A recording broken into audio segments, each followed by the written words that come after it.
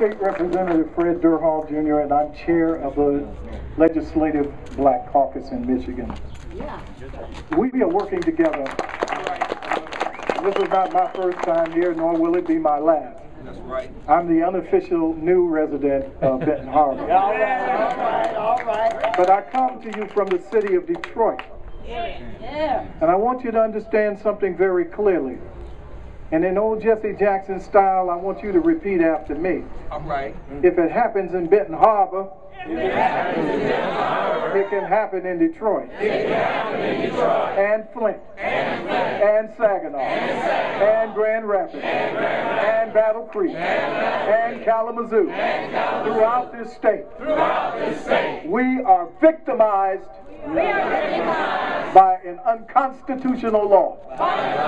And so it is natural, ladies and gentlemen, for us to join together to fight. We're fighting not just for labor, we're fighting not just for the city and the council member and his mayor.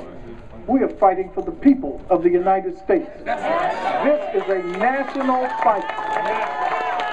It is one that is rooted as deeply inside of our hearts and our minds as the civil rights movement of the 1960s. It is wrong. It is absolutely wrong That's right. to have people come and elect their public officials and then have an appointed person come in and declare them null and void.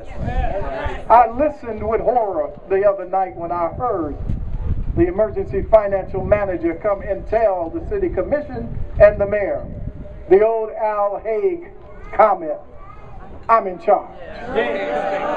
You're out and I'm in charge. There's something wrong with that picture in the 21st century in America. And I will tell you this we will not stand for it. We're going to move to try to appeal this, to repeal this law.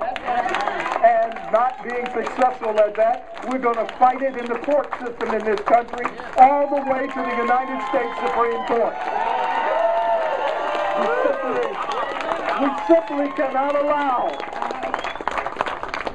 our people to become put under fascist rule. And that's what this is. Yes, it is. You're right. I am proud of the fact that you are here. Yes. For many of you, it took a long drive to get here.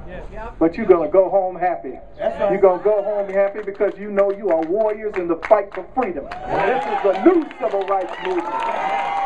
Going away from government that is trying to take advantage of you. We are on your side. You are with me. I am with you. And together, we're going to win this battle, aren't we? Are we going to win? Can we win? Let's fight. Show me what democracy looks like.